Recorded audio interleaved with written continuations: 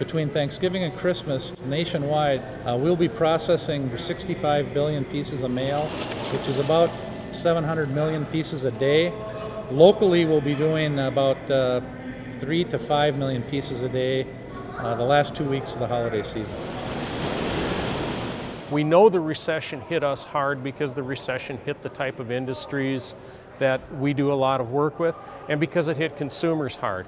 As consumer confidence hopefully grows, as the economy starts to turn around, we're hoping that translates into more mail for us. We're down about uh, 15, 20% nationwide, uh, but during this time of year, we're up about 15% from our normal volumes throughout the year first class single piece mail, the type of mail that you and I send in when we mail in our bills, send somebody a birthday card, things like that.